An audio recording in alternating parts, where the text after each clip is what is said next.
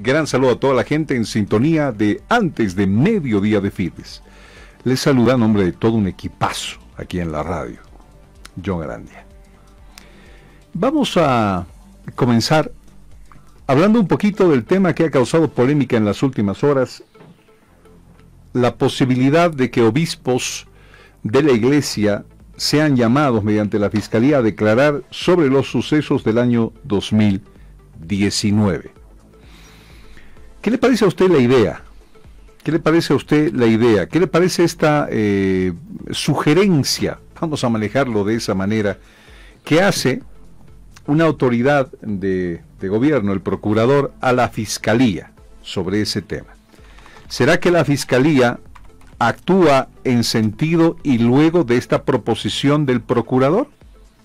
A ver, pero salió la iglesia ayer a decir que irá a cualquier citación, que va a estar ahí, va a estar ahí eh, respondiendo a las preguntas y adelantó que se van a eh, acoger a un documento que emitieran el año 2019, donde eh, precisamente se hablaba de la participación de ellos en qué?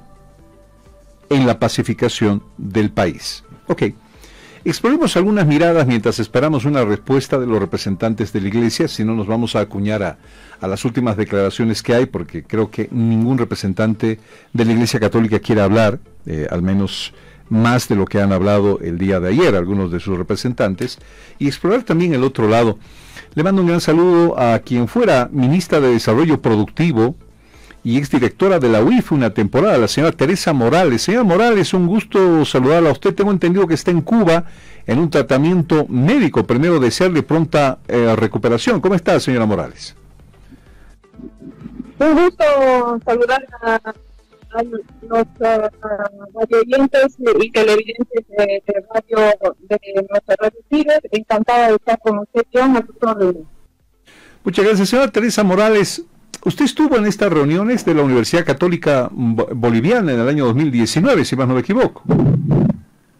Sí, efectivamente, acompañé a la entonces senadora y presidenta del Senado, eh, la compañera Adriana Salvatierra, a la convocatoria que le hicieron a las reuniones el día 11 y 12, eh, a reuniones que se desarrollaron en la Universidad Católica.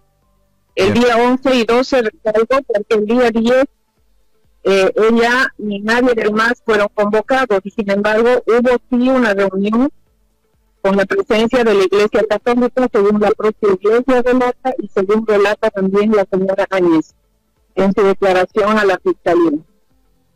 Señora Teresa Morales, bueno, la pregunta que todo el mundo se está haciendo y la dejamos esta su valoración y su sapiencia por los hechos del año 2019, lo que conoce, quiero decir.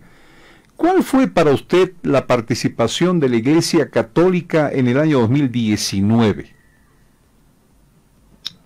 Eh, mire usted, eh, sinceramente, lo que hizo la Iglesia Católica desde un punto de vista genérico eh, y viendo lo que puede haber sucedido el día 11 y el día 12, es lo que generalmente los mediadores hacen si solo se viera lo que se hizo el día 11 y el día 12, es decir, convocar en una situación de crisis a todas las partes a entenderse.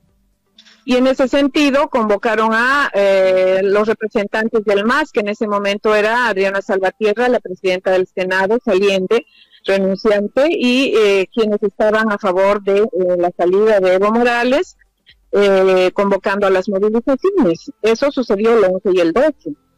Lo que sí es grave, es gravísimo, es que ni Adriana fue, eh, ni Adriana le comunicaron, ni a Susana posteriormente, por supuesto yo como acompañante de ambas no conocí, es que la iglesia el día antes había convocado a una sola de las partes a reunirse con ellos y había participado en nada más y nada menos de un llamado telefónico pusieron en altavoz al monseñor Scarpellini en el teléfono de Ricardo Paz y le habían propuesto ser presidenta del Estado. Ella había aceptado ser presidenta sin ser ninguno de ellos parlamentario, sin tener ninguna autoridad para proponerle ser presidenta, ella había aceptado ser presidenta y le habían dicho que se trasladara del Beni a la ciudad de La Paz. Eso es lo que es grave. Es decir, lo que sucedió en el ámbito general de convocar a las partes y tratar de pacificar el país estuvo bien hecho el día 11 y el día 12. Lo que es gravísimo fue el día antes, a pocos minutos, no sé si más de una hora de la renuncia de Evo Morales, la iglesia solo se reúne con una de las partes, deciden con una de las partes que además no eran representantes nacionales ni autoridades, quién va a ser la presidenta de Bolivia, Monseñor Scarpellini, con eh, embajadores eh, extranjeros y eh, simplemente quienes eran asesores de los partidos organizaciones políticas que estaban con el golpe de Estado, que no eran parlamentarios, Ricardo Vaz no era ni parlamentario ni nada, Jefe Sutinario no era parlamentario ni nada, el entonces rector de la universidad no era representante parlamentario ni político, y todos ellos deciden quién va a ser la presidenta, le pone, le llaman a través de un teléfono de un privado a la señora Áñez, que sí era parlamentaria, vicepresidenta del el Senado, segunda vicepresidenta, le proponen ser presidenta en presencia de Monseñor Scarpellini en reunión, no fuera de la reunión, en propia reunión presidida por Scarpellini, le proponen ser presidenta, ella acepta supuestamente por el bien de la patria, le dicen que se dirija a la paz. Y recién entonces convocan a la otra parte al día siguiente a Adriana y Adriana la, eh, la convocan y no le comunican a Adriana la decisión del día anterior. No le dicen, mire Adriana, nos hemos reunido ayer y tal y cual como. No, señor. La tratan como si fuera la primera reunión, el día lunes, entramos Adriana y yo a la reunión y como si recién estuvieran empezando una reunión, fingen que no ha pasado nada, fingen que quieren pacificar, fingen que quieren Ah, eh, tenemos una interrupción. Antes con la Okay, eh, perdón, la última parte, la última parte se le entrecortó, eh, señora Morales. La estamos escuchando atentamente. Siga, por favor. Entonces, el día lunes 11 llaman sí a Adriana Adriana asiste con la intención de participar en una convocatoria de la Iglesia en aras de la pacificación del momento crítico que pasaba el país y de, la, de, luchar para eliminar toda la violencia y la situación de crisis. Y a Adriana no le comunica a nadie, ni el monseñor Scarpellini que presidió aquella reunión, no le comunican, más bien fingen que no hubiera habido ninguna otra reunión.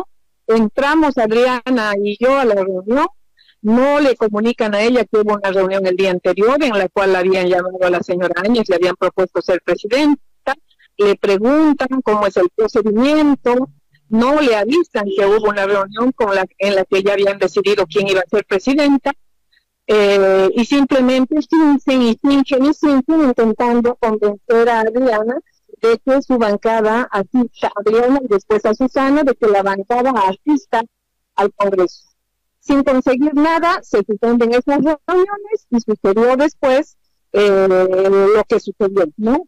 Finalmente, la señora Áñez se autoproclama y fueron presidenta de facto. Eso es lo que sucede. Entonces, señora, Teresa Morales, si esto, usted, si esto usted lo convertiría en preguntas hacia los obispos y los representantes de la Iglesia Católica, ¿cuáles serían estas? Hágale cuenta que usted es la fiscal y está preguntando a la Iglesia sobre esto que nos ha explicado. ¿Cuáles, cuáles serían las preguntas? Eh, bueno, no sé si tenemos el tiempo de formular las preguntas, serían muchas preguntas. Eh, yo no soy abogada, no soy juez, no soy fiscal, pero por supuesto el país tiene que saber cuál es la razón por la que una entidad eclesiástica eh, tiene que cumplir un rol político de reunirse con la oposición con quienes estaban en contra de un gobierno constitucionalmente electo para sentarse en una mesa que no era el Parlamento, con quienes no eran parlamentarios, eh, poner en altavoz a una persona y proponerle ser presidenta. Poner en una mesa un celular con altavoz y decirle, señora Áñez, usted quiere ser presidenta y la señora Áñez decir que sí.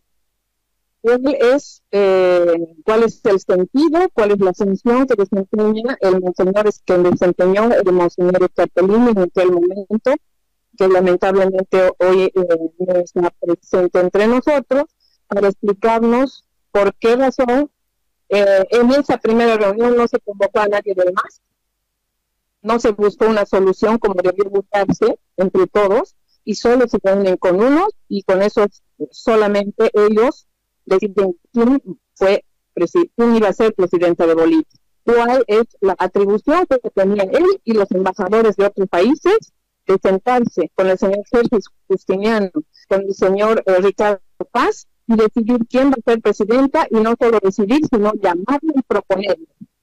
El día 10, pocos minutos después de la renuncia de Evo Morales.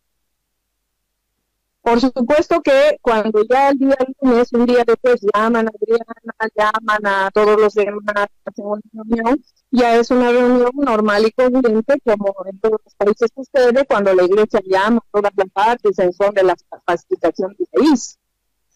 Que no confundan una cosa con la otra. En todos los países del mundo y en la historia de Bolivia, la iglesia ha mediado conflictos este es un conflicto en el que la Iglesia pudo haber mediado de manera correcta, es decir, llamar a todas las partes y sentarse y dialogar. Lo hizo el día lunes 11 y martes 20. Sin embargo, el día 10, el día 10, no se puede explicar por qué el día 10 se reúne con una sola de las partes, acuerdan quién va a ser presidente y la llaman en presencia de Monseñor Catalina si Monseñor Scarpellini no hubiera querido participar de eso, hubiera dicho, bueno, Ahora, ustedes quieren ser mm. Señora, señora Morales, señora Morales, Scarpellini falleció eh, producto del COVID. Fue una muerte muy sentida, pero un hombre muy querido, religiosamente hablando, por la gente. ¿Quiénes deberían responder por esto?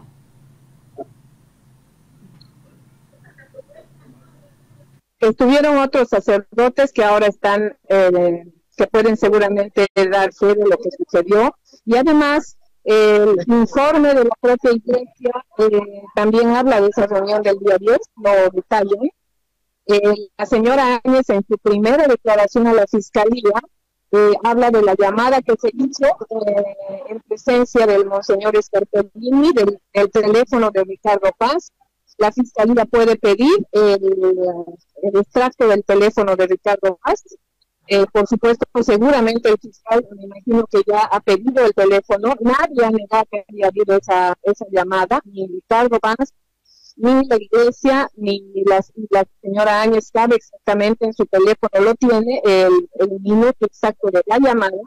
Eh, nadie ha negado esa llamada la llamada de altavoz le hizo Ricardo Paz en presencia de Monseñor Escarpellini, pero no solo de este Monseñor, sino de varios miembros de la Iglesia y de embajadores de países extranjeros, delante de los cuales Iglesia y embajadores se le propuso a la señora ser presidenta de Bolivia. Bien.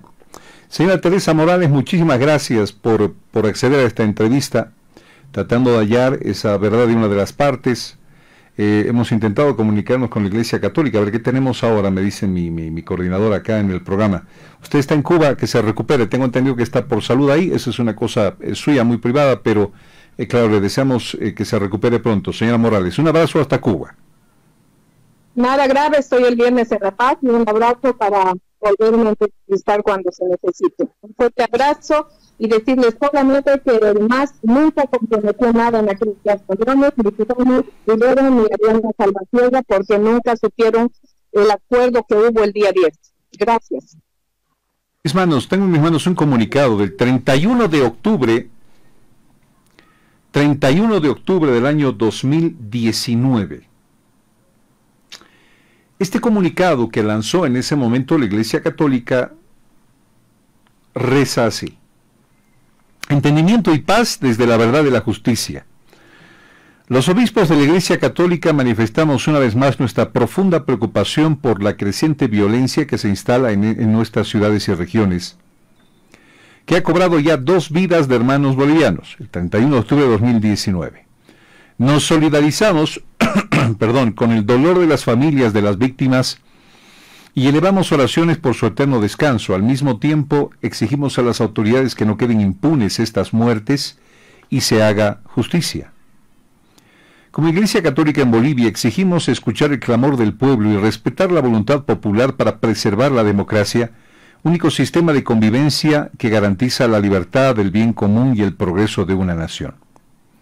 En esa línea pensamos que la única salida adecuada, coherente y democrática es el diálogo sincero, humilde y transparente. Un diálogo que debe basarse en la transparencia y en la verdad. Consideramos que una auditoría realizada en condiciones adecuadas, o sea, una auditoría integral del proceso electoral pactada y vinculante, podría sentar las bases para un acuerdo y colaborar a la pacificación del país. Si la auditoría es integral, tendrá en cuenta todas las etapas del proceso electoral y no solo un recuento final de votos. Si es pactada, reconocerá las observaciones y condiciones de todos los involucrados en el proceso. Si es vinculante, todos se comprometen a acatar los resultados y junto a ello las acciones necesarias para restablecer la justicia si se demuestra que fue vulnerada. Condenamos enérgicamente toda forma de violencia. Es responsabilidad de las autoridades preservar la paz y de todos manifestar las demandas en forma pacífica. Por lo tanto, hacemos un llamado vehemente a autoridades y ciudadanos a deponer actitudes de agresión y a apostar por formas pacíficas de expresión y protesta. Rechazamos enfáticamente las amenazas y acciones que han desplegado autoridades y otros representantes nacionales en los últimos días. La convocatoria a acercar ciudades, cortar suministro de agua, amenazar de muerte a jóvenes movilizados o fomentar el enfrentamiento entre campo y ciudad son inaceptables y carecen de sensatez y responsabilidad. Asimismo, la organización y despliegue de grupos de choque acrecientan la violencia en las calles de nuestras ciudades y merecen el repudio general, por constituirse en expresión de intolerancia e inseguridad para la población. Animamos a los creyentes y personas de buena voluntad a continuar a intensificar iniciativas de oración por la paz en Bolivia. Es necesario orar pidiendo a Dios que inspire deseos y ayude a tomar las decisiones adecuadas. Invitamos a todas las familias y parroquias a unirse en oración a través de las iniciativas que se están proponiendo. Solo la inspiración de Dios nos ayudará a encontrar la salida justa, libre y verdadera que permita recuperar la paz fruto de la justicia que merece nuestro pueblo. La Paz 31 de octubre del año 2019. Leemos este comunicado porque es parte, digamos, de las acciones que ha tenido en el año 2019 la Iglesia Católica. Representantes que dicen que no van a dar más declaraciones a partir de hoy, que mantienen su posición, eso nos han dicho en relación de que si son citados van a asistir a la cita van a asistir a la cita. Ayer se dijo, no, si nada temen, entonces, ¿qué se están ahí santificando, etcétera, etcétera? Van a ir a la cita, es lo que ha dicho la, la Iglesia Católica por este lado. Pero vale la pena recordar dos declaraciones, a manera, por favor, este comunicado y las declaraciones que vamos a pasar, de dar contraparte a eh, lo que nos ha expresado la señora Teresa Morales, ya que la Iglesia Católica eh, eh, se exime de esto, tenemos que pasar ese material, porque la iglesia sí habló.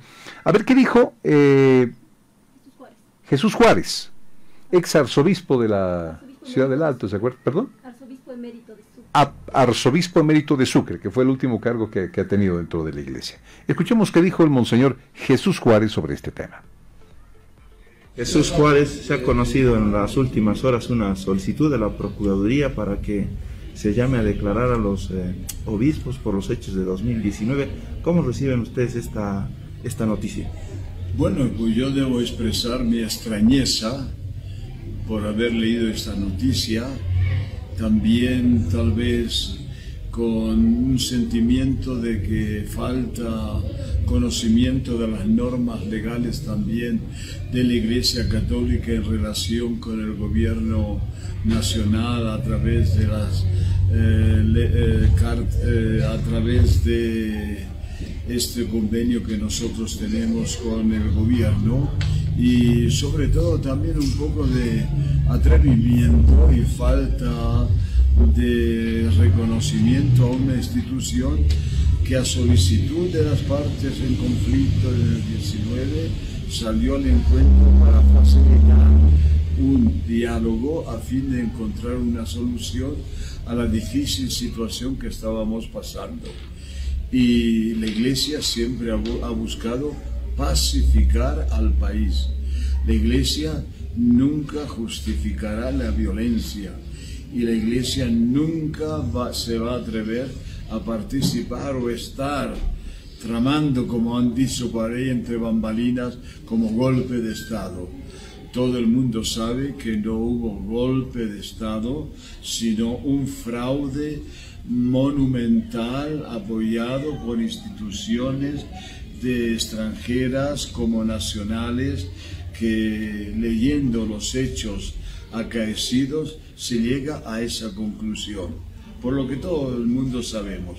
Pero claro, con la narrativa del gobierno que hubo golpe, golpe, golpe, piensan que van a hacer creer a la población que fue golpe y la población cree que fue fraude. Y también pues he quedado maravillado porque se me han acercado personas aquí en Sucre dando el apoyo a la iglesia Qué atrevimiento, decían, qué atrevido ese procurador. ¿Cómo es posible que se dude de esa institución que tiene pues un índice muy alto de credibilidad entre la sociedad? Y uno se pregunta, ¿por qué esta actitud? ¿Qué estarán buscando? ¿Estarán eh, queriendo tomar un poco de revancha o amedrentar a los obispos por esa campaña que se está liderizando a través de las pastorales sociales, Cáritas y Fundación Jubileo para hacer esa recolección de firmas, exigiendo de una vez para siempre la renovación de esta justicia que está tan manipulada, tan, tan comprada, tan al como diría, al servicio de, de las autoridades de turno, de los partidos de turno, y no gozar de esa imparcialidad, de esa transparencia, y que realmente que haya justicia, que haya justicia y que de una vez para siempre, de una vez para siempre, pues que quede bien claro que la justicia es para todos, no para unos. Eh, la justicia es muy ancha y para otros muy estrecha.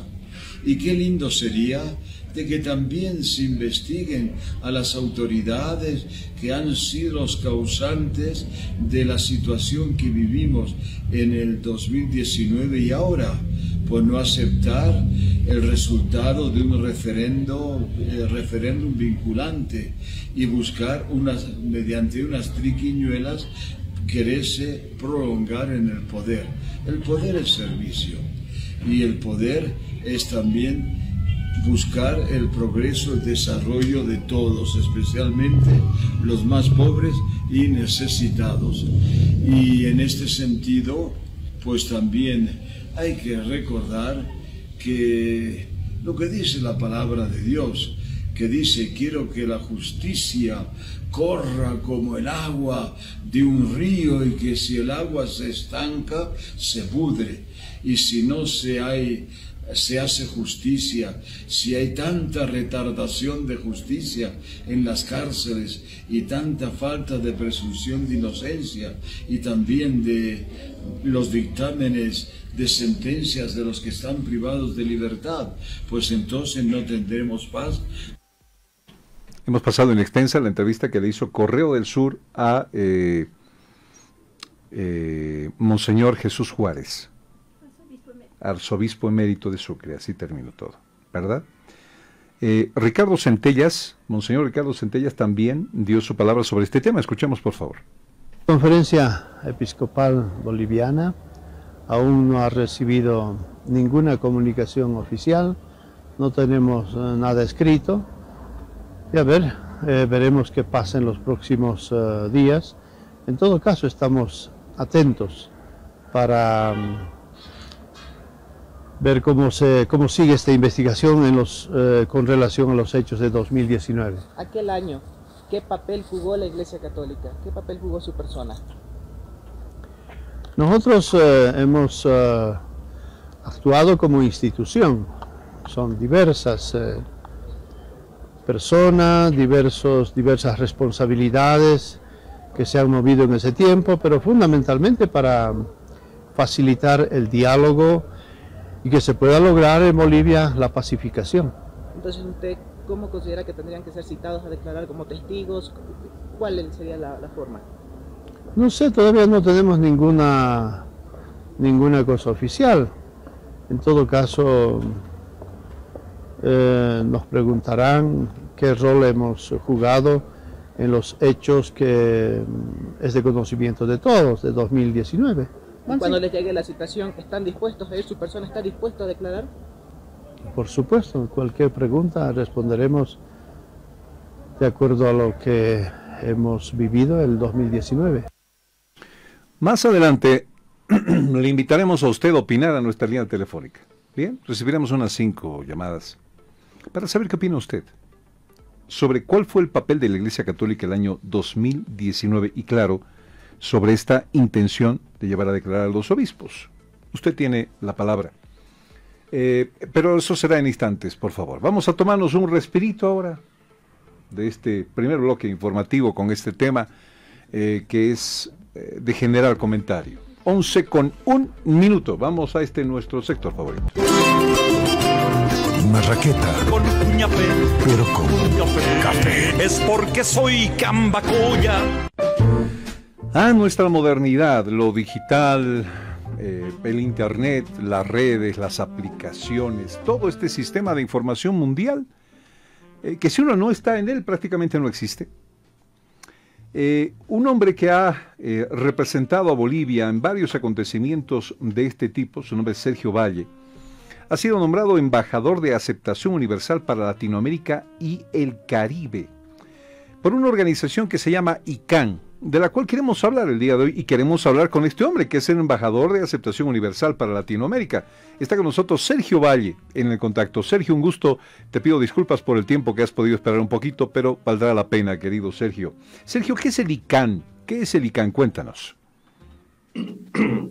Bueno, muy buenos días. Un, gusto saludarte, querido John, a ti y a todos los radioescuchas. Bueno, eh, el ICANN es la Corporación de Internet para Nombres y, Números. Es la instancia máxima que define bloques de nombres de dominio y por otro lado la definición de bloques de eh, protocolos de IP. Es decir, es la que realmente administra, vela por un Internet seguro, estable y obviamente sostenible en el tiempo. Sergio, ¿qué significa que tú ahora seas un embajador de aceptación universal para Latinoamérica y el Caribe? Bueno, la verdad es un honor eh, ser el embajador para, para, Latinoamérica.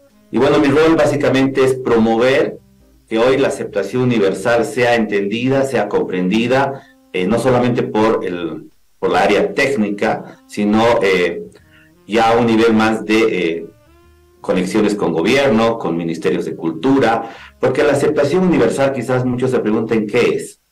La aceptación universal no es nada más ni nada menos que la piedra angular de una Internet multilingüe. Es decir, hoy a partir de este concepto, lo que está haciendo el ICANN es abrir el Internet para que los países, como en nuestro caso que tenemos lenguas originarias, puedan tener una representación de lengua y escritura en los nombres de dominio y en el uso de correos electrónicos. Eso significa... En digital de esto, ayuda, Brasil tiene más de 182 idiomas originarios, ¿no?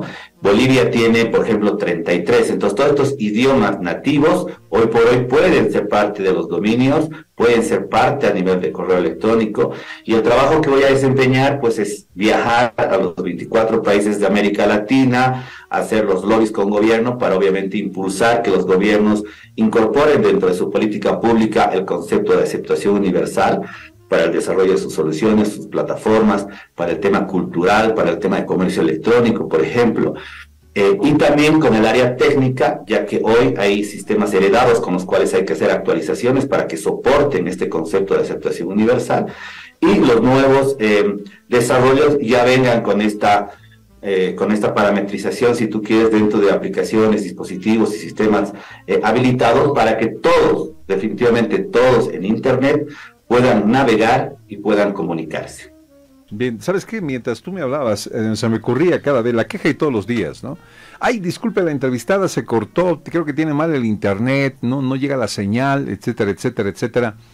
Y se me ocurre gritar después de esto, embajador Sergio Valle, por favor. no sé, tendremos algún lugar donde en serio se puedan hacer estas acciones por un internet más equitativo, de mejor calidad, más justo en el trato. Sergio, ¿cómo está el tema? Sí, solamente un paréntesis ahí. El ICANN es, es la instancia máxima, pero el, el ICANN, por ejemplo, no controla los contenidos, no, no censura los contenidos, no, eh, no, no controla el spam, por ejemplo, y obviamente no es un ente que haga la, la parte de conexiones, ¿no? Entonces, esas tres cosas no hace el ICANN.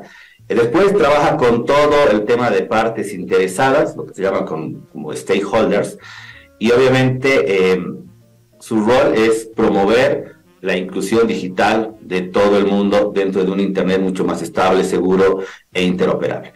En relación a lo que tú decías, hoy, eh, bueno, sabemos que el país tiene avances, pero hay retos. Es importante saber que los bolivianos navegamos eh, a través del Internet por banda ancha móvil.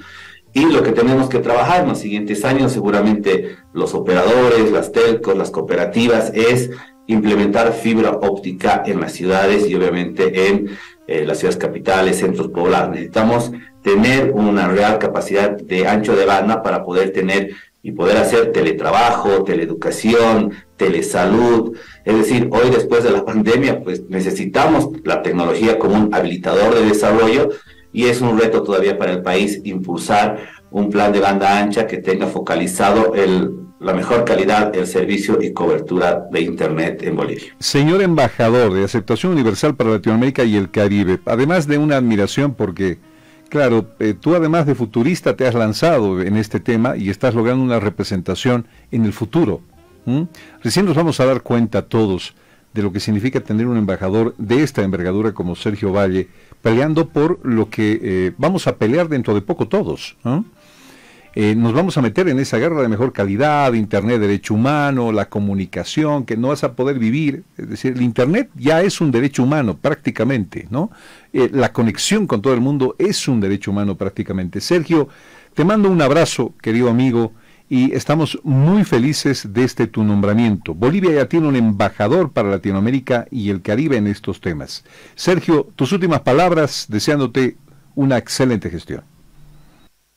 No, muy agradecido, John. Eh, bueno, por esto es un, trabajo de, perseverancia. Ya hace más de, de 12 años que venimos con, con Fundetic Bolivia, con la Fundación, trabajando eh, en estos temas de tecnología, innovación, emprendedurismo. Eh, no sé si tú sabes, pero por ejemplo son 17 años que hemos hecho una actividad cada 17 de mayo por el Día del Internet, tres años más y son dos décadas que he estado y desde la Fundación impulsando y promoviendo el Internet como herramienta de desarrollo. Eh, y realmente este, este, este honor que me da el ICANN, pues definitivamente me va a permitir eh, poder eh, coordinar con gobiernos, trabajar con sector privado, organizaciones sociales, cooperación internacional, sector privado, universidades, para realmente incorporar y masificar el uso del Internet, trabajar con, con, los, con los ministerios, con los gobiernos de cultura, trabajar con diferentes empresas, eh, pero sobre todo eh, demostrar que desde Bolivia se puede proyectar hacia la región, hacia Latinoamérica, hacia los 24 países, una nueva visión basada en la gestión con gobiernos, gestión cultural y sobre todo el tema técnico como elevación de desarrollo e impulso a un nuevo Internet mucho más estable y seguro. Gracias, Sergio Valle. Con esto nos vamos a cerrar el segmento, a la pausa y en instantes una de nuestras preguntas es absuelta. ¿Cómo están en este momento después del terremoto los bolivianos en Turquía? Eh, logramos comunicarnos con uno que nos hablaba de la situación. ¿Cuántos son los bolivianos que viven en Turquía? Aprovecharemos de hablar también de la situación del Perú con la Cancillería boliviana. Esto será en instantes nada más y un poquito más adelante le abrimos a usted la línea telefónica para que opine acerca de esta pregunta que ya se la dejamos. ¿Cuál cree usted que fue la participación de la Iglesia Católica en el año 2019? Y claro, si quiere opinar, de esta idea de llamarlos a declarar, usted es el dueño en el marco de la libertad de expresión, con responsabilidad y con respeto, por favor que se lo pedimos. Nos acompaña Eva Chuquimia, la viceministra de Gestión Institucional y Consular de la Cancillería Boliviana. Un gusto saludarle, viceministra, eh, deseándole siempre que esté, que esté bien. Eh, ha pasado días ya de este tremendo terremoto en, Turquía. Eh, según las últimas informaciones, ¿cuántos muertos son? ¿10.000? ¿Sí? Es terrible, terrible. Eh, ¿Cuántos bolivianos hay en Turquía, viceministra? Bueno, registrados, buen día John, eh, tenemos em, como 200. Em, entonces consideramos que los que están en, los que siempre circulan, eh, es menos de, de 500. Es una comunidad pequeña, pero eso no deja de ser que es una ruta eh, estratégica para principalmente también para los bolivianos que viven en, en, en, Rusia, porque bueno, para salir a Europa o venir a Latinoamérica o a nuestro país tienen que necesariamente pasar por Turquía. Leyendo estas últimas noticias, muertes en terremoto de Turquía y Siria pasan los 35 mil. ¿Y Siria? ¿Tenemos bolivianos en Siria? Eh, no tenemos registrados. Los que están están más en, en, en Ankara, que es, eh, bueno, si han estado en Siria, quiero decir, se han registrado en Ankara, en nuestra misión diplomática, que bueno, es la última, nuestra última misión diplomática que fue el 2019, luego hemos restituido el 2021. Estaba un mes nomás ahí, el 2019. Bien, viceministra, eh, ¿cómo actúa una representación diplomática cuando hay esta clase de, de eventos para sus connacionales? Cuéntenos un poquito del procedimiento, por favor. A ver, em, cuando ya se detecta que hay un, eh, sea en estos acontecimientos como el sismo, sea en lo de Ucrania, recordará usted hace más de, bueno, casi un año cuando pasó también en, Ucrania, activamos ahí los, nuestras oficinas diplomáticas y nuestras oficinas consulares y donde no tenemos oficina como nos pasó en, en Ucrania, se había ido nuestro consulado honorario, entonces hemos activado la cooperación consular. Pero me voy a referir directamente a la pregunta que es lo que usted me dice, a cómo, cómo hemos actuado y cómo actuamos en el caso de Turquía. Eh, nuestro embajador eh, hace una comunicación ante las autoridades locales para decir, bueno, si ustedes por favor consultas de que si, si tenemos, si tienen conocimiento de bolivianos o de ciudadanos de nacionalidad boliviana, por favor pueden dirigirse a tal, ¿no? Eh, a tal número. Entonces, en ese sentido, se encuentra ahora nuestra, bueno, hace días atrás, nuestra compatriota eh, boliviana, em, la señora de Santa Cruz, con tres hijos. Eh, su casa está totalmente destruida. Ella vivía en un edificio donde, bueno, de los más de 10.000 edificios, eh, perdón, 50 mil edificios que se habrían caído en Turquía, una de ellas es de nuestra, bueno, un departamento donde ella vivía con sus tres hijos y ahora, eh, bueno, fue a una carpa, de la carpa ya está en buenas condiciones, eh, por lo menos en óptimas condiciones, porque también el frío dice que está fatal, entonces, eh, bueno, entre ropa abrigada, comida y las gestiones de los trámites, ¿no? Que también eso es importante porque uno de los niños es, em, tiene nacionalidad turca, por lo cual primero hay que sacar la documentación boliviana para darle un salvoconducto y del salvoconducto buscar ya el pasaje eh, que llegue a Madrid y de Madrid, bueno, ya es más fácil de salir a, nuestro país, en este caso Viru Viru. La idea es evacuarlos, ¿no? Sacarlos de esos, esos lugares de conflicto. Puede ser que la persona quiera o no quiera también salir. ¿Cuál ha sido la respuesta y con cuántos bolivianos de esos 200 han logrado contactarse, viceministra? Hemos contactado más con de, como 60 con 60, nuestro embajador está en contacto permanente con ellos, ha hecho grupos de WhatsApp, está hablando con ellos. Y bueno, eh, hasta ahí todo bien, pero de los que hemos encontrado vulnerable y necesitan apoyo y quieren, se, eh, quieren retornar a nuestro país, la señora vivía más de 10 años en, en Turquía, eh, entonces estamos haciendo las gestiones, para, más que decir gestiones, parece una, así una, una palabra de burócrata al 100% que nunca se va a acabar. Estamos en un proceso eh, ahora mismo de su documentación, la traducción del certificado de nacimiento y luego inscribirlo en el, en el registro, en el libro de nacimientos de, del CERESI, que nosotros como misiones diplomáticas también somos oficial de registro civil del CERESI. Emitimos un salvoconducto y los pasajes, gracias al convenio que tiene la Cancillería con Boliviana de Aviación, ya es posible hacer la repatriación gratuita. Se pagan unas tasas, ¿no? Algo de, de, 200 euros, pero bueno, ese es un momento que también sale de recursos de eh, nuestra Cancillería para eh, ciudadanos, como en este caso. Así que la señora no, no va a pagar nada, va a llegar eh, yo creo que pronto, entre la próxima semana máximo, y estaría llegando a nuestro, a, bueno, a Santa Cruz, así como también lo han hecho eh, la solicitud sus familiares que están allá. Bien, viceministra, eh, ¿han muerto bolivianos? No, gracias a Dios, no. Mira, casi sacamos un pequeño afiche de decir no tenemos bolivianos eh, fallecidos. Eso es algo que mm, no fue muy, duro. ¿no? Yo ayer hablaba con el embajador de Turquía aquí, eh, Tan, y me contaba todo lo que, lo que habían pasado y que hace el 2000 había pasado ya algo similar donde ha pasado, donde han muerto 15 mil eh, ciudadanos turcos en la época. Entonces, em, este, no, no pensaban que estaban preparados para esto, pero eh, lamentablemente no. México creo que mandó incluso hasta perritos para detectar, ¿no? Con el, eh, estos, estos animales especialistas y uno de ellos también ha muerto, un perrito. Entonces sí es muy dramático, muy sensible.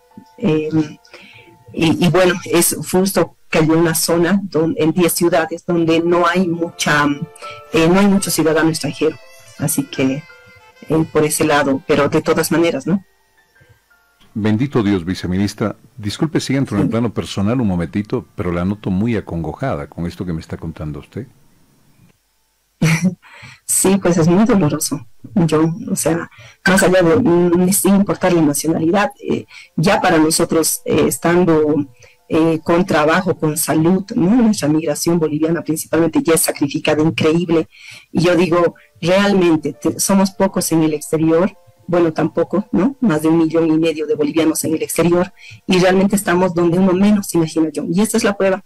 En Ucrania lo mismo hemos encontrado en Polonia eh, y cuando hemos evacuado también hace un año eh, nos decían, bueno, no quiero retornar a Bolivia. O sea, yo quiero, yo tengo, eh, tengo esperanza de que el conflicto se pase, por lo cual quiero irme a Turquía. Entonces habían bolivianos también que han salido de Ucrania y que estaban en Turquía o que están ahora mismo en Turquía. Salieron de la guerra, salieron, salieron de la guerra a Turquía y ahora les toca vivir esto en Turquía, Dios. Sí, sí, algunos sí, no todos, pero algunos sí. Y hay otros también que eh, tenemos un grupo, bueno, se hacen ya un grupo, eh, más de 20 ciudadanos bolivianos que están en centros penitenciarios. Eh, y por la pandemia, para que no estén así colapsados, han empezado a, irse a lugares alejados. Y más bien por ese Qué, qué, fuerte. Se cortó el micrófono suyo, viceministra. Le voy a pedir que lo reactive una vez más. Las fotos nos las han enviado. Vamos a ver estas fotografías, por favor. Mientras la viceministra, por favor, nos describe un poquito de esto. Eva Chuquimia, viceministra de Gestión Institucional y Consular. Esta familia es boliviana, están en carpas, ¿no? Es ella, ¿no? Es la señora con su hijo de 16 años, el de 12 y el de 4, eh, y, la, y, nuestro embajador Cejas que está ahí con él, porque esto pasó en, en Hatay, eh, no en Ankara. Bueno, en Ankara no ha habido, creo, mucho, creo que casi nada, solamente algunos pequeños movimientos. Eh, entonces nuestro embajador viajó, consiguió una movilidad, viajó para traerle a la familia para trasladarlos a de esta ciudad a Ankara. Entonces en Ankara está nuestra misión diplomática, él está en contacto, en monitoreo, le estamos dando la alimentación eh, desde el primer minuto, además principalmente está garantizada la ropa brigada, comprenderá que está todo un caos, ¿no? Y el frío dice que está increíble, así que también estamos viendo algunas cuestiones para ver cómo podemos apoyar en la medida de nuestras posibilidades. Bien, voy a, ir a la otra. Hay una casa derrumbada detrás de, la persona de, plomo. Vamos a ir a la anterior un segundo, por favor. No quiero imaginarme que haya sido el lugar ese donde, donde, donde vivió, ¿no? ¿Quién es él? Él, a ver, no veo bien la foto. Creo que es nuestro embajador. A ver. Ah, no, él no, no, es, él es creo el chofer de nuestra misión diplomática. Bien, y atrás no me diga que la embajada de Bolivia. o, la, el no. Bolivia. No, pero es una casa que mire usted, perdió prácticamente los cimientos base. Claro, no, y hay otras fotos, usted así se muere yo. Es increíble. Me mandó anoche unas fotos que yo ya dije, no, esto no lo mando. Son terribles, bueno, sí, me imagino, por el desastre. Bueno, las que podemos mostrar, las que podemos mostrar ahora de la gente. 200 bolivianos, 60 contactados. Bueno, me imagino que el boliviano, eh, quiere siempre estar en contacto con su patria y sabe que, eh, viceministra, escucha Fides. Lo escucha por Tunelín, lo escucha por el internet, la radio. Así que sería bueno quizás hacer un llamamiento a los otros 140 bolivianos que están ahí, todavía no se han contactado con el consulado. Hágalo, viceministra. Existe la gran, gran, gran posibilidad de que estén en sintonía de la radio, también escuchando y anoticiándose de lo que pasa en el país. Adelante, por favor. Eh, Bien, entonces, yo le digo a nuestra comunidad boliviana, John, a través de, y voy a dar un número de emergencia que es muy importante, para aquellos bolivianos eh, que están en Europa o que tienen conocimiento que sus familiares, amigos, están en, eh, no siempre en estado de vulnerabilidad, no siempre en riesgo, pero que quieren saber, que quieren estar en este grupo de contactos eh, o los familiares que están aquí eh, y nos están también viendo, escuchando, pueden llamar a nuestro eh, número de emergencia 24 horas, 7 días. lo hemos habilitado desde más de dos años y realmente funciona muy bien y principalmente en estos casos.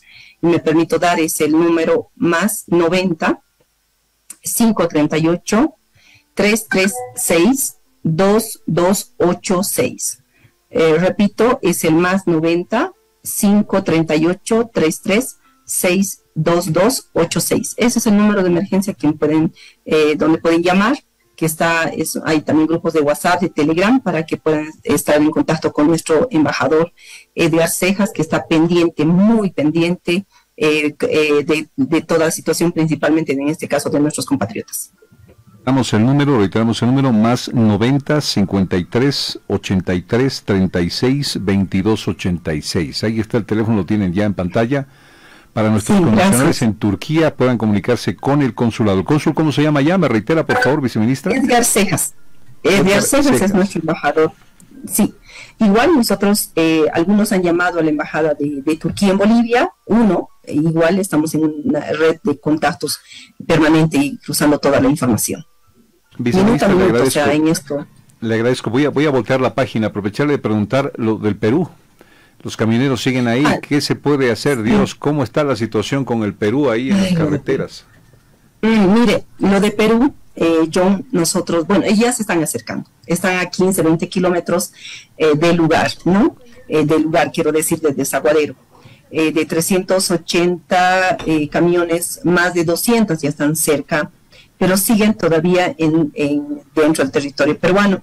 Sin embargo, el, apoyo que nosotros les hemos dado hace más de 10 días y hemos previsto por 10 días ya se está acabando.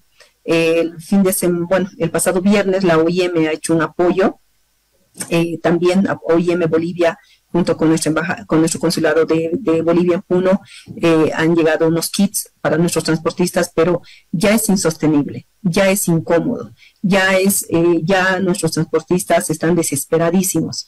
Entonces, estamos haciendo las gestiones eh, con las Hemos agotado, mire, todo, de decirle habiliten Migración Perú para que puedan sellar eh, consideren las multas que no dependían de nuestros hermanos transportistas absolutamente porque ellos han ido por un determinado tiempo. Entonces, según la normativa eh, peruana, eh, se estaría violando y se estaría acumulando multas que no corresponden pagarlas por nuestros transportistas, ni los dueños, ni nada. Entonces, silenciosamente hemos hecho también estas gestiones. esperemos que ya sea la respuesta favorable como corresponde. Eh, ¿Qué más? Ahora vamos a, vamos a dirigirnos nuevamente, sea, ya lo hemos hecho a nivel consular y ahora diplomáticamente a nivel bilateral de decirles, por favor, eh, habiliten las oficinas del CEBAF y también del de, de en este caso de la Superintendencia de Migraciones, para que puedan sellar y puedan salir los transportistas, porque todos los otros niveles se han agotado, a nivel incluso orgánico de movimientos sociales, entre ellos han hablado y demás, eh, pero por supuesto que nosotros creo que ya eh, toda la paciencia y todo lo que nosotros hemos entendido y que naturalmente existe y hemos visto, ahora necesitamos que los transportistas tengan que retornar a nuestro país como corresponde, ¿no? Absolutamente, es el tiempo del 4 de enero a la fecha, por supuesto que ya es eh, bastante. Así que estamos en ello también. Viceministra, muchas gracias a usted. destaco no solamente esta facilidad para dar información a la gente, la apertura para brindarla, pero sobre todo esta sensibilidad. ¿Sabe algo? Es decir, Cancillería, los temas, está bien, hay que tratarlos de alguna manera. Mucho uno es autoridad, no te inmiscuyas mucho, pero se nota la empatía que usted tiene con estos temas, viceministra, y le mando un, gran abrazo. Gracias por este momento. Gracias a usted, John. Gracias, viceministra. Hasta luego. 11.29 minutos para cerrar esto de Turquía, para cerrar esto de Turquía. La información dice que las muertes en terremoto de Turquía y Siria pasan las 35 mil. 35 mil. Cerrar esto, recapitulando esto, son 200 bolivianos y no hay hasta el momento ni un muerto reportado de nacionalidad boliviana. Eso tenemos que darle gracias a Dios y celebrarlo también. Me voy a eh, ir a la pausa, pero cuando vuelva hablaremos de una sentencia constitucional ¿Cuál es esta sentencia? Que si usted tiene un familiar que ya esté a punto de morir, que la medicina ya le haya, dado absolutamente todo, usted con la familia puede reunirse y decir, saben, yo quiero que pruebe esto en mi familiar, porque creo que lo puede salvar. No le van a poder decir no. ¿Mm? Por más anti, no sé, que vaya contra la ciencia. ¿no?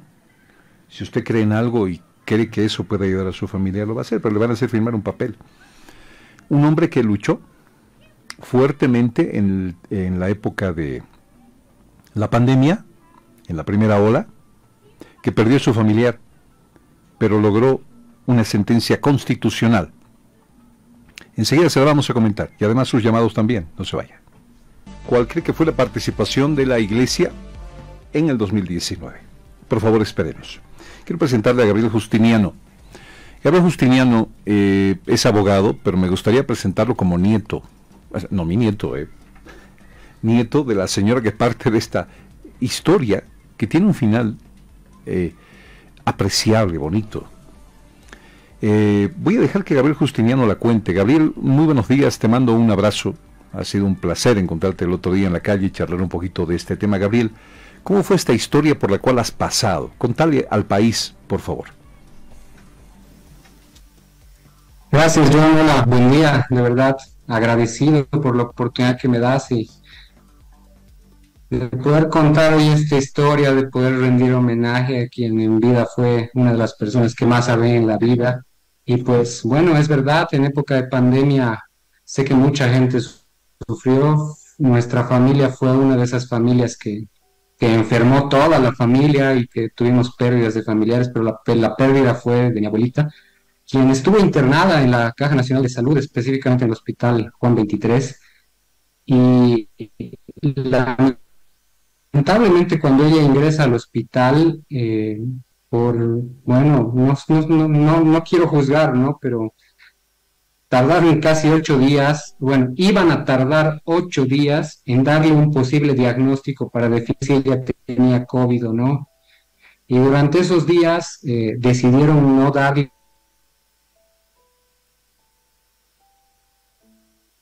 se fue un segundito la, la señal, vamos a recuperarla ahora. Eh, estuvo con COVID, dice, en la Caja Nacional de Salud y durante esos días, me, quedé, en la historia ahí, perdón, eh, eh, se cortó un poquito. Durante esos días, ¿qué pasó? Ahí me quedé. Pues no, no, no, al no tener un diagnóstico, no querían darle ninguna enferma COVID, sin embargo no querían darle ningún tratamiento. Yo me entrevisté con el director del hospital vía telefónica, habíamos solicitado que se le ponga ivermectina, hidroxicloroquina, que se le ponga plasma, que se la atienda, porque estábamos hablando de una persona de tercera edad. En ese momento mi abuelita tenía 89 años, eh, pero de manera negligente los médicos no querían generar ninguna atención, pues decían que no existía un protocolo médico al que puedan ceñirse, porque obviamente entendíamos. Sin embargo, eh, nosotros como familiares habíamos visto como alternativa la posibilidad de que se le atienda con dióxido, porque teníamos información de que en ese momento el dióxido era una alternativa que si bien no tenía una base sólida científica, pues era una alternativa y teníamos antecedentes de personas Bien, volvimos a perder la comunicación. ¿Podemos llamarlo por teléfono, por favor? Podemos hacer esta entrevista de manera telefónica, no por Zoom, porque claro, el Internet es pues terrible, ¿no? Ay, sufro por el Internet que usted no tiene idea.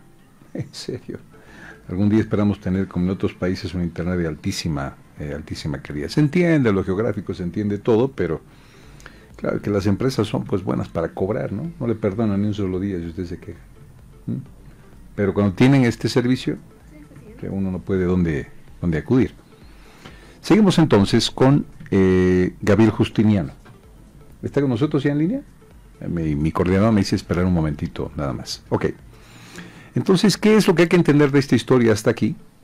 Que al no haber un protocolo de tratamiento de pacientes con COVID, la familia le pedía a los médicos en la Caja Nacional de Salud eh, intentar algunas otras alternativas que a la familia eh, les parecía bien. Sigo con eh, Gabriel Justiniano ahora. Gabriel, con mejor suerte te seguimos escuchando. Ustedes le decían a los médicos, pero póngale a mi abuela esto, pruebe esto, pruebe esto, y la respuesta era no por parte de los médicos.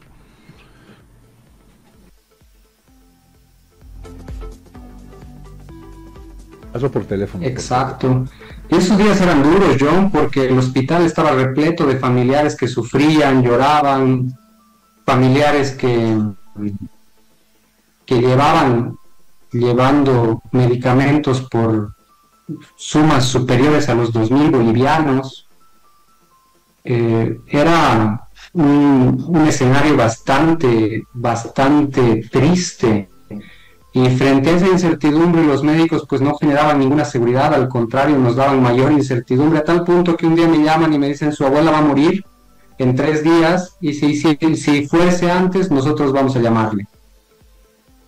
Y yo les digo, pero ¿y por qué no le dan ninguna atención? Porque recién en ocho días la prueba COVID nos dirá si tiene COVID o no.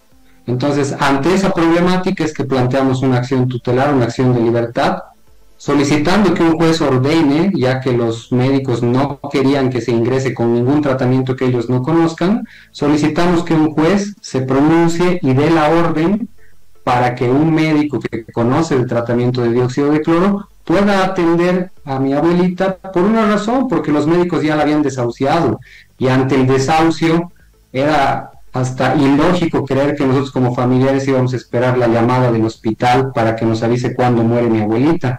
Entonces, ese fue el motivo por el que yo como abogado gestioné esta acción de libertad. En su momento era una acción de libertad que solamente era vinculante para el caso específico de mi abuela, pero el día de hoy, como tú decías, ya el Tribunal Constitucional se ha pronunciado sobre esta denuncia que hicimos en su momento y ha establecido reglas claras de que cuando la vida de una persona, de un ser humano, está en peligro, no se puede sobreponer la opinión de un profesional médico y anteponer su decisión sobre la vida, o sea, prácticamente actuar como jueces y decir, ni modo, él muere, esperemos su muerte, en palabras sencillas. Entonces, eh, esta sentencia se ha pronunciado sobre esos aspectos, John, y pues creo que un buen homenaje para mi abuela, que fue quien motivó esta lucha, es que la población conozca esta sentencia, que sepa en casos de emergencia médica, cuando la vida de una persona está en riesgo, ya existe una jurisprudencia. El Tribunal Constitucional ha emitido criterios en donde establece con claridad que la protección procesal amplia del derecho a la vida es un derecho humano fundamental que está sobre cualquier otro derecho. Entonces, eh, esto creo que es algo, un aporte importante para la sociedad, John. A ver, ahora sí eh, le diré, eh, doctor Gabriel Justiniano, entonces esta sentencia constitucional reza que cuando haya un paciente ya prácticamente desahuciado, si la familia quiere hacer algún tratamiento alternativo, incluso no reconocido, digamos, científicamente, el médico tendrá que aceptar. ¿Es esta la sentencia?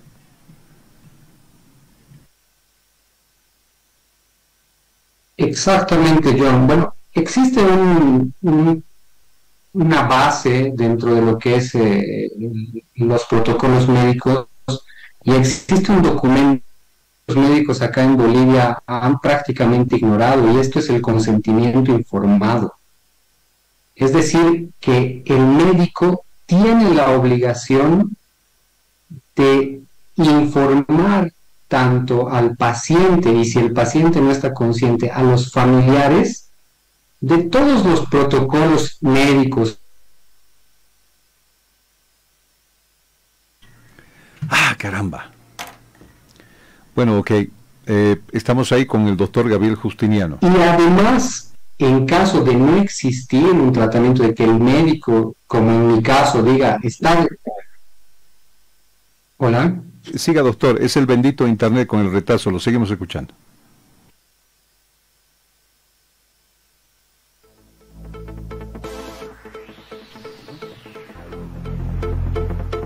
Bien, este, ¿es por teléfono o, mi querida Rocío, que tenemos que hacer esa llamada, por favor, para que termine? Si no lo tenemos en el, Zoom, lo tenemos en, en voz para terminar esto. Entonces, escúchelo bien, por favor ya es sentencia constitucional.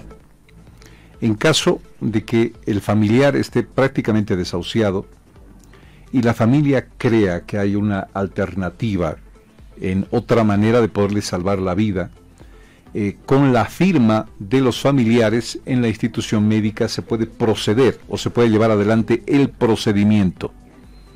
Eh, ahí estamos. Bien, doctor, eh, doctor Justiniano, ahora sí por teléfono, muchísimo mejor.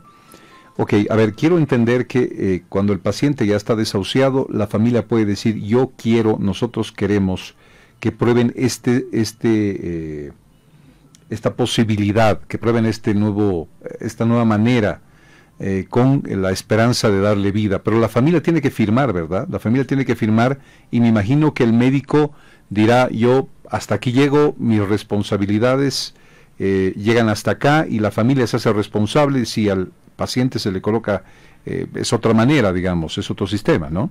Bueno, mira John, la sentencia va mucho más allá. Es como tú dices, evidentemente la familia, el familiar o el mismo paciente da su consentimiento, firma un documento, pero esta sentencia va un paso más allá justamente analizando este caso en concreto y dice que el médico no se deslinda de responsabilidad, al contrario, acompaña en el tratamiento eh, con los conocimientos que él tenga, porque en el caso específico, te digo, había un médico que era el experto en el, tratamiento de dióxido de cloro, pero la paciente necesitaba estudios complementarios, necesitaba atenciones complementarias, y cuando un médico dice yo no puedo hacer ese tratamiento, no significa que deslinda la responsabilidad de hacer seguimiento bajo cualquier otro tratamiento complementario que necesite, que ayude al tratamiento que la familia ha solicitado que se le, que se le implemente al enfermo. Entonces, eh, lo que hace esta sentencia es decir, eh, el médico no puede deslindarse de la responsabilidad cuando hay un consentimiento informado para que se aplique un tratamiento, sea cual sea este, siempre que haya el consentimiento o del paciente o de la familia. Bien, ahora la familia también tendrá responsabilidades, me imagino, en que si el paciente, no sé, claro, si está desahuciado ya eh, va a morir, pero eh, la familia qué responsabilidad tiene al, al, pedirle al médico esto, mediante una sentencia constitucional que debe aceptar además. Lo que pasa es que la sentencia constitucional sirve para un aspecto, John, y esto es importante aclarar a la población. Eh, la, la vida de las personas está regida por leyes. Para cada situación hay una ley. Pero cuando no hay una ley para un caso específico, se plantean acciones tutelares, como lo que hemos hecho, una acción de libertad. Esa resolución que emite el juez, eh, en una primera instancia es obligatoria para el paciente, o sea, cuando la planteamos era obligatorio para mi abuelita. O sea, los jueces, los jueces ordenan que el médico no se podía negar a ponerle ningún tratamiento y que tenía que brindarle todo el apoyo necesario dentro del hospital. Pero cuando va en revisión a, a, Sucre, al Tribunal Constitucional, y el Tribunal Constitucional emite una sentencia constitucional, esto se constituye en jurisprudencia. Por lo tanto, es como una parte de la ley que genera una vinculación para cualquier ciudadano que se encuentre en una situación parecida. ¿Y qué es lo que pasa? Respondiendo a tu pregunta, en este caso, si vemos que la persona ya ha sido desahuciada en el caso específico, el médico literalmente llamó y dijo, se va a morir, no sabemos si será en un día, si será en tres, en cuanto ocurra, le llamamos.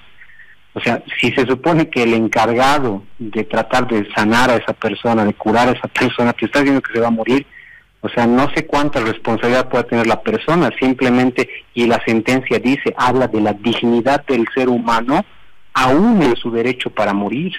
O sea, la sentencia te dice, el ser humano es digno de saber que si va a morir, elegir cómo va a morir. O sea, si este último tratamiento no te va a salvar la vida, al menos te han dado por dignidad el derecho de escoger tu última posibilidad de salvar la vida.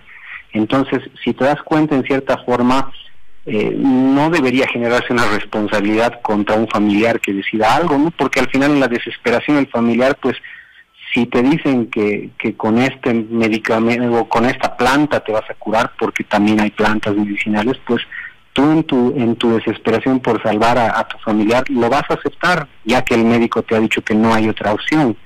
Entonces, este es el sentido de esta sentencia, esta es la, la genética de esta sentencia y creo yo que puede ser un aporte para muchas personas. Como tú lo has dicho, en tiempo de pandemia yo me he dedicado a defender a muchas personas, hemos presentado muchas de estas acciones, seguramente las otras van a seguir saliendo y van a seguir bajo esta misma línea. Hemos obligado a que se abran hospitales, a que médicos atiendan. Hemos, eh, hemos hecho un trabajo fuerte con la oficina eh, velando por, por defender la vida y el derecho a la vida que tiene todo ser humano. Doctor, muchísimas gracias por darnos a conocer esta sentencia constitucional. Un abrazo, un abrazo. Y, Muchas eh, gracias, John. Su abuelita debe estar sonriendo en el cielo, ¿ah? Seguramente, seguramente que sí, ella era una mujer fuerte y, y, este es un homenaje para ella, ¿no? Eh, si bien ella perdió la vida, pues eh, que su ejemplo sirva para que otras personas puedan salvar la vida de sus familiares, John, y nosotros como abogados seguimos en la lucha. Es, doctor Gabriel Justiniano. Le mando un abrazo, nos vamos a la pausa última, ¿sí? Ah, ok. Son las eh, ya 10 minutos para las 12. Dios nos alcanzará para las llamadas. A ver, trataremos de, correr justo ahora. Estamos con el eh, concejal Juan Carlos Medrano en eh, Santa Cruz. Y es el caso de el famoso QR, ¿verdad? Que implica a Andrea Forfori, la exdirectora del Jardín Botánico. Hoy hay una audiencia sobre este tema podría determinarse la, eh, la, culpabilidad o no de Andrea Forfori. Nos vamos a Santa Cruz con el concejal Juan Carlos Medrano. Concejal, un gusto saludable. Eh, infórmenos del tema, por favor. Buen día. ¿Cómo está, John? Buen día. Gracias por el contacto. Efectivamente, el día de hoy a las 2.30 de la tarde tendremos la audiencia cautelar de la señora Andrea Forfori. Inicialmente, eh, esta audiencia fue suspendida desde el mes de diciembre hasta el mes de febrero. Nos llamó mucho la atención porque la justicia actuó de esa forma, que nos parecía muy poco transparente. Sin embargo, el día de hoy va a ser la audiencia y esperamos que la señora Porfori se presente. En caso de que ella no se presente, correspondería una orden de aprehensión en su contra y lo más probable es que ella sea llevada después de manera obligada mediante el poder público, la fuerza pública. Es, extraño, estimado John, de que con tantas pruebas que se han presentado en un caso que ha sido nacional prácticamente, no se haya podido hasta el día de hoy aprender a esta persona, pese a las declaraciones de todos los testigos que la se indican como la principal responsable de estos movimientos defectivos. Sin embargo, eh, el juez determinó la detención preventiva de la cárcel de Palmasola de un funcionario de rango menor, entonces vamos a ver si el día de hoy eh, se hace justicia, esperemos que no haya injerencia política en este tema que es tan delicado, que podría prácticamente ser eh, el hilo inicial de una investigación mucho más grande de hechos de corrupción en la alcaldía municipal de Santa Cruz. No hay que olvidar que la señora eh, también trabajó de la mano del alcalde Johnny Fernández en parques y jardines. Entonces tiene bastante información de cientos de denuncias que se han eh, dado en la gestión del alcalde Johnny Fernández y que podría ser eh, revelada con la declaración de esta señora el día de hoy. Gracias, concejal. A ver, esperaremos a las 2 de la tarde cuál es la información que tenemos sobre este caso eh, entonces. Refrescale un poquito, sin embargo, en este minuto, por favor, a la gente, ¿de qué se trata el caso QR? Adelante, por favor. Bueno, hubieron dos funcionarios municipales que denunciaron eh, que le estaban pidiendo su sueldo. Ellos entraron a trabajar en el mes de octubre y les habían abonado el sueldo de septiembre y de octubre, dos sueldos. Ellos se sintieron eh, sorprendidos porque recibieron el doble de paga y entonces eh, al día siguiente les llaman y les dicen retira el sueldo que no te corresponde y se lo vas a entregar a esta señora. Entonces ellos denuncian a los concejales, hacemos investigación y nos damos cuenta que se les estaba exigiendo que estos fondos sean transferidos a través de cuentas QR y esto es un robo, están robando la plata del municipio. La pregunta es con cuántas personas la alcaldía está haciendo lo mismo. Trata que en un mes le pagan de dos meses anteriores y de esa manera empiezan a robar un mes de sueldo por cada funcionario.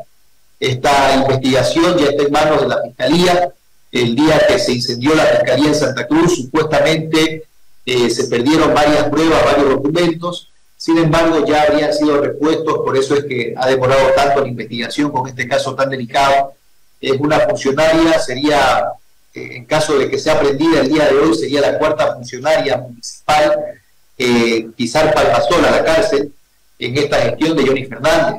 Esperamos de que el juez pueda ser bastante objetivo en, el análisis de la evidencia, de las pruebas, y que pueda también ser eh, consecuente. La señora Porfori no presentó su teléfono celular, no declaró, entonces en este momento hay una obstrucción en la investigación por parte de ella, hay un riesgo de fuga latente, por lo tanto creemos que va a ser eh, ella detenida preventivamente en la cárcel de Palmasola por lo menos por 180 días.